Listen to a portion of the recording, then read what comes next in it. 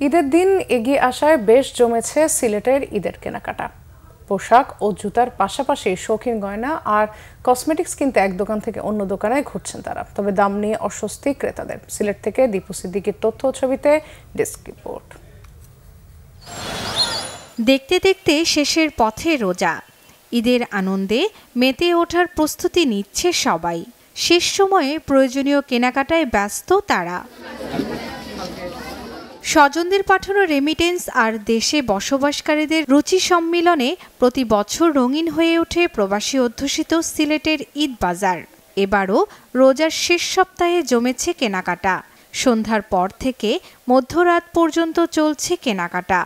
বর্ণিল সাজে প্রতিটি মার্কেট বিপণী বিতান শপিং মল। তবে দাম নিয়ে হিমশিম খাচ্ছেন সাধারণ ক্রেতারা।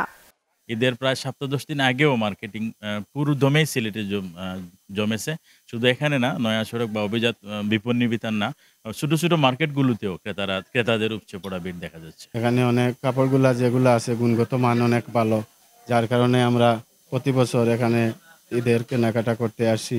এই তো ড্রেস কিনলাম লং ড্রেস সবসময় এরকম আসলে কিনি। একটু মোটামুটি সচ্ছল যারা আছে তারা ঈদ করার মতো। কিন্তু যারা একবারে নিম্ন আয়ের মানুষ তাদের মতো মানুষ কেনাকাটা আমার মতো মনে হয় না বাজার পরিস্থিতি আছে?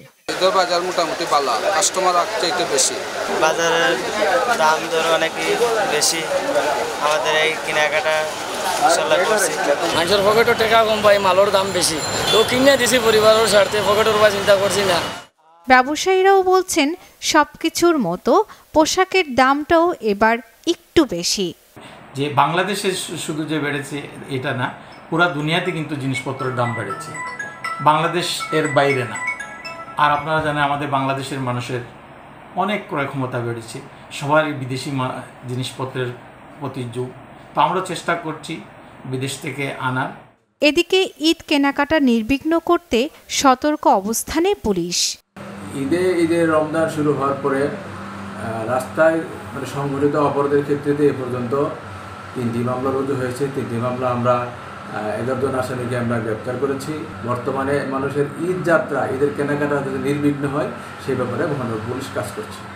চাঁদরাত পর্যন্ত ঈদের কেনাকাটা জমজমাট থাকার আশা ব্যবসায়ীদের বাংলা ভিশন, নিউজ ডেস্ক।